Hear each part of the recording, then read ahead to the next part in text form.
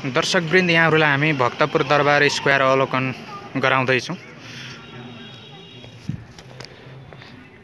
र कस्तो छ भक्तपुर दरबार स्क्वायर? हामी यहाँ हेर्न सक्छौँ।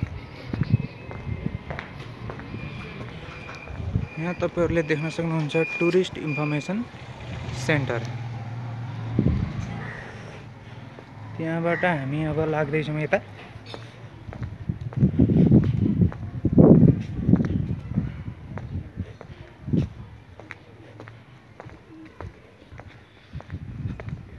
र यतिखेर यहाँहरू एसटी नेपाल युट्युब च्यानलको साथमा हुनुहुन्छ। म यहाँहरूलाई भक्तपुर दरबार स्क्वायरको अवलोकन गराइरहेको छु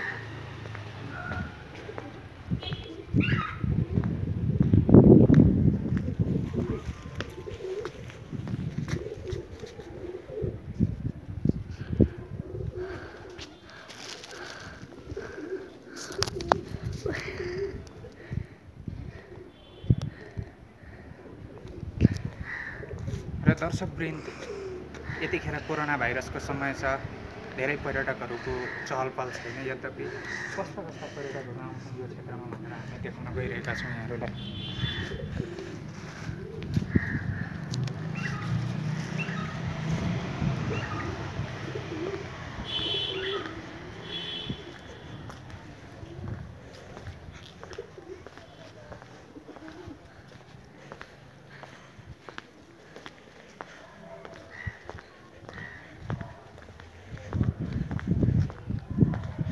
यस्तो छ भक्तपुर दरबार स्क्वायरको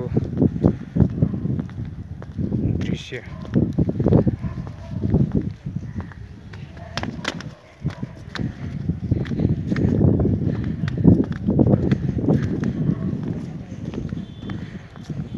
हामी यता माथिबाट जान्छौँ।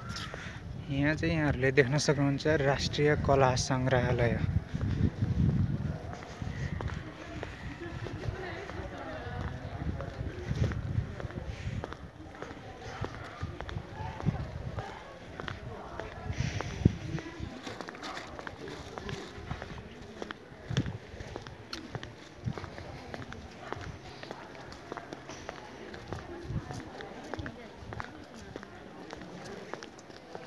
यहाँ यस्तो रहेको छ एउटा आकर्षक गेट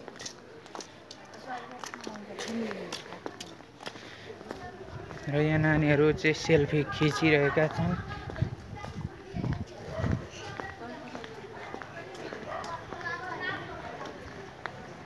यस्तो छ दर्शक महानुभावहरू दरबार भक्तपुर दरबार स्क्वायर।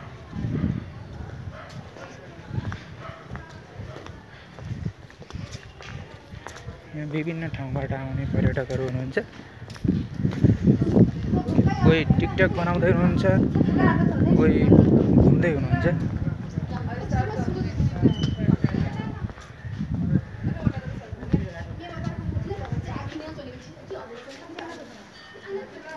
र यहाँ चाहिँ दर्शक महानुभावहरूले यस्तो देख्न सक्नुहुन्छ।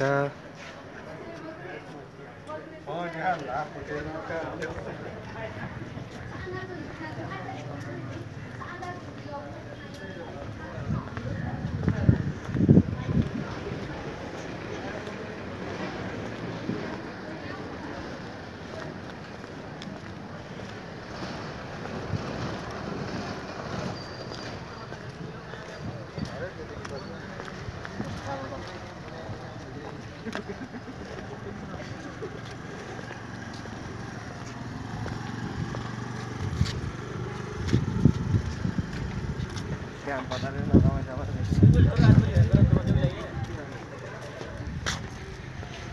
यहाँ माथिको केही अंश भने अहिले निर्माणाधीन अवस्थामा देख्न सकिन्छ। धेरै संरचनाहरू भने यहाँ निर्माणाधीन अवस्थामा देख्न सकिन्छ दर्शक महानुभावहरू।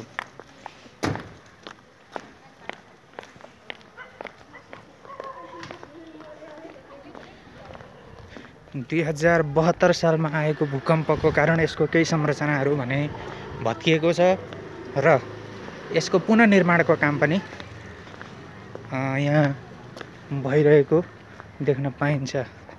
यो जुन चर्केको या भत्केको छ यो चाहिँ दुई हजार बहत्तर सालको भूकम्पको कारणले भक्तपुर दरबार स्क्वायरमा परेको असर हो दर्शक महानुभावहरू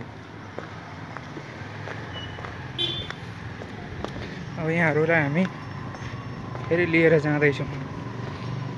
अर्को स्थानतर्फ।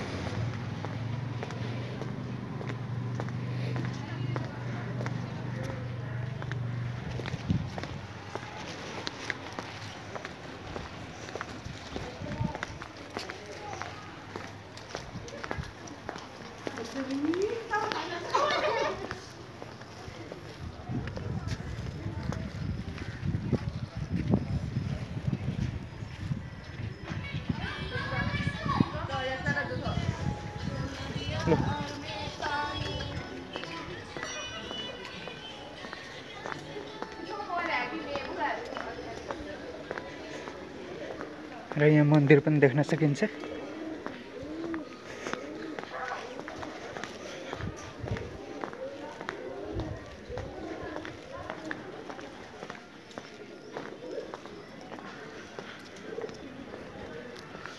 यहाँनिर यस्तो संरचना रहेको छ दर्शक महानुभावहरू।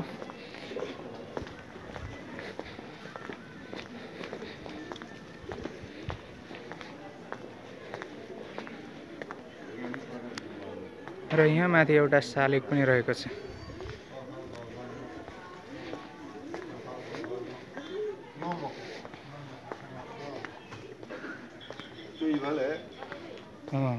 एक्सक्युज मी तपाईँ यहाँको स्थानीय हुनुहुन्छ? हजुर।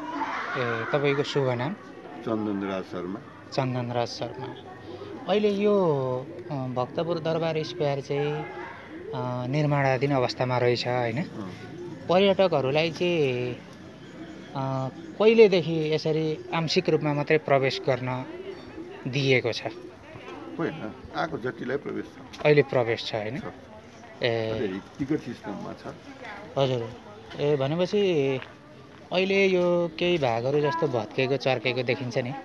यसको निर्माण चाहिँ बनाउने क्रममा छ अहिले। मन्दिरहरू चाहिँ बनाइयो यो मन्दिर बनायो। हजुर। यो मन्दिर बनायो यो मन्दिर बनायो। हजुर। यो सबै यो भट्केर तल जगदेखि नै बनाएका मन्दिरहरू भए यिनीहरू। हजुर। अब ऊ यो ढुङ्गे मन्दिर यो पछाडिको यो बनायो। अब पछाडिको बनाउँदैछ। हजुर हजुर। यसरी बनाउँदैछ। ए भनेपछि अहिले समग्र रूपमा काठमाडौँमा चाहिँ कोरोना भाइरसको असर कस्तो बुझिराख्नु भएको छ यहाँले अब त्यो त अलिक भयावहै छ यहाँ पनि। हजुर। तैपनि सुरक्षाका मापदण्ड अप्नाएर पर्यटकहरू आइरहेछन् होइन? हो। खै गभर्मेन्टबाट खासै त्यस्तो भएको देखिँदैन। अँ, भनेपछि यतिखेर नेपाल सरकार आफैले हात उठाइसकेको अवस्था छ। मलाई चाहिँ त्यस्तो लाग्छ। त्यस्तै लाग्छ। हस् धन्यवाद है जानकारी दिनुभयो यहाँले अरू पनि अलिकति विश्राममै छ अब। हजुर हजुर। र दर्शक महानुभावहरू अ, यहाँहरू एसटी नेपाल युट्युब च्यानलको साथमा हुनुहुन्छ। यदि यहाँहरूले हाम्रो च्यानललाई सब्सक्राइब गर्नुभएको छैन भने सब्सक्राइब गर्नुहोस् र भिडियो लाइक कमेन्ट सेयर गर्न नभुल्नुहोला। हस् थ्याङ्क यू